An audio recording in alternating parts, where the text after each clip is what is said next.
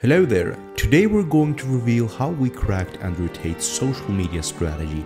Please take notes if you'd like. So Andrew Tate is a person who stirs strong feelings all around the world. People either really dislike him or really love him.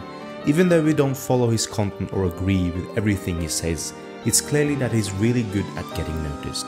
No matter if he's talking about becoming a Muslim, showing off his money, arguing on the internet with a young climate activist, or enjoying some pizza in Romania, he always manages to stay in the news. Now, take a moment to put aside whether you agree or disagree with him and think about the situation fairly. Andrew Tate is a very clever marketing expert, so while you're watching this video, keep in mind of that. On the other side, we'll hold back the things you shouldn't learn from him, but no matter how you feel about him, there are a lot of things you can learn from Andrew Tate. Number 1. Being important matters. Here's one thing Andrew Tate has got right, and that is being important matters. The simplest way to show where you stand in the world or where you want others to see you is to get things that show you're important. Let us give you an example. Why do you think bankers care so much about watches? Well, people pay more attention to those who seem to be rich or important. People also often agree with the ideas and thoughts of those who seem important. This happens because of something called authority bias. Authority bias is when we think that someone important is more likely to be right. The more we trust his thoughts, the more likely others will be influenced by his ideas and think they're right. Andrew Tate has definitely made himself out to be a big deal in the world of toxic masculinity, even though he doesn't agree with the term. On top of that, his showy displays of wealth helps make people believe he knows of what he's talking about. If he's done so well for himself, he must be right. But let's slow down for a second. We talk about influence. What we're trying to say is that his importance plays a big part in why he gets so much attention. There's no doubt he says a lot of shocking things that get people talking. But if he wasn't known, would people listen? We don't think so.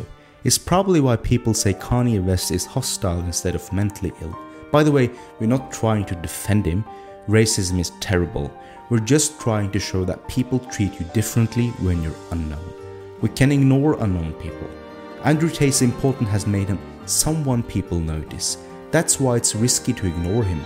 The fact that he can show off his Bugatti knowing that most people don't drive, own or even have access to one gives him an advantage. So are we saying you should spend all your money on fancy stuff? Not really. We're saying you should go and achieve some things. Show that you can make a lot of money from e-commerce, for example, before you tell others how to make their online store better for getting leads. So being important can give you a lot of social power. Just ask Elon Musk. People are more likely to listen to you when you're proven yourself. Ignoring importance often results in having little influence on the world. If you're okay with that, then fine. Moving on to number 2 Messages made on purpose. You don't have to be a genius to understand who Andrew Tate is targeting, it's clearly young men. His whole attitude is designed to exploit a key part of growing up teen rebellion. Let's be honest, it's going to take more than fancy cars, strong muscles, and a bunch of bold statements to convince people like you and me to follow someone like Andrew Tate. But for a young guy in their teenage years, he seems like a dream come true. Tate presents himself as having everything a young man might want money, power, respect, and the list goes on. If your parents don't have the same qualities, it's pretty easy to be drawn to someone like Andrew Tate. That's the main point. We're not telling you to manipulate young minds, we're telling you to ask yourself, what do I have that people want and who are the people that want it? The third point is that making people argue is a way to sell things. Once again, we can all agree that Andrew Tate stirs up strong feelings. That's why he keeps getting noticed, even though some of the biggest social media platforms in the Western world have banned him. So, this is how we cracked his strategy, which is quite easy. You find a topic that causes engagement, then you get to know both sides of the argument, you choose the side that your target audience agrees with, and then finally you share opinions that will trigger the other side but will be well received by your target audience. It's that easy. Even Elon Musk is very good at this. So, with other words, causing disagreements gets people involved, When people get involved, you reach more people, and the more people you reach, the more people get involved. It's actually a never ending cycle. The fourth point is that easy things can make a big difference. Andrew Tate says he has many other businesses, and he might. He's even said before that he had a webcam business with over 60 women working for him, which he doesn't run anymore. But neither this business nor his career as a kickboxer is what made him famous. It was his internet business. Do you want to know Andrew Tate's biggest product that got worldwide attention? It's a pay to join group called Hustlers University. We don't want to put down people who create groups and classes when we say this, but it's not a brand new idea. Lots of people have done it before, and it's a business model that works really fine. But here's our point if the way to solve your audience's problem is a class, then that's good enough. So, the final point is make your audience spread the word about your brand. The main goal of Tate's Hustlers University group is to teach people how to make money online. A student who's been in the class for over six months says the following They are teaching a lot of ways to make money nowadays.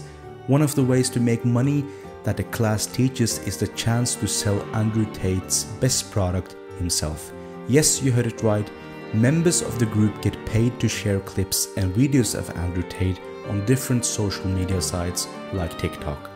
Whenever the students made extra money, Tate got more attention without having to do anything. You don't have to pay your customers to do the same for you. The trick is to match what your customers want give them content they connect with, and they'll do the work for you. So, at the end of the day, it would be a stretch to say we hate Andrew Tate. We don't hate anyone. We also don't really agree with his ideas on many things, but we realize it would be silly of us to overlook the big changes he's made in the last three years or so. Even if you don't agree with him, there's something to learn if you can ignore what he's saying.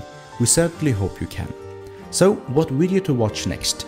Related to this video, you've likely heard the terms alpha male and sigma male thrown around quite often. Some people swear by them, while others not so much. But have you ever really stopped to think about these labels? Are they helpful? Or more importantly, are they accurate? We got you covered in this video, so go check this out.